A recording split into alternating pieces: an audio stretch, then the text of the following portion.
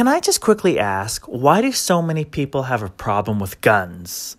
I mean, when we're ever watching horror films, we're always screaming, Run, bitch! Run and grab a gun!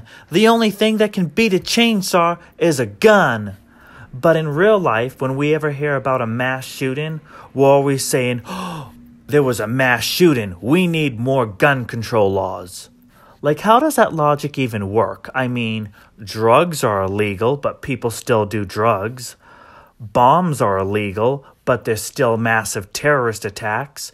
You know, when that shooting happened in Christchurch, New Zealand, people demanded for more gun control laws.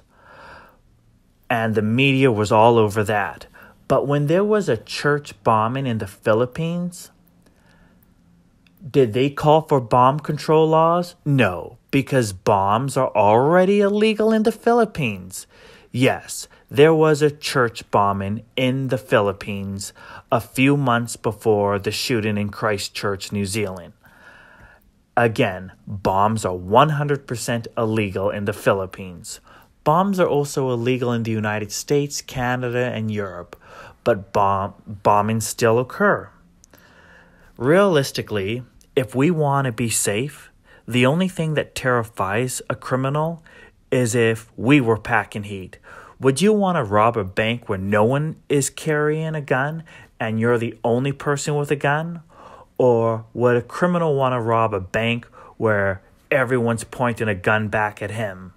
How did we beat the Nazis? Guns. How did we beat the communists? Guns.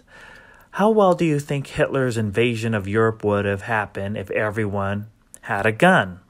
Fun fact Hitler wanted to de-arm all of his victim nations because he didn't want them rebelling against him. Realistically, guns aren't the problem, crazy people are the problem. Gun control laws keep guns out of good people's hands. Meanwhile, criminals, they get their guns from the black market. And if you don't believe me, by all means, leave me a comment below and enlighten me why I'm wrong.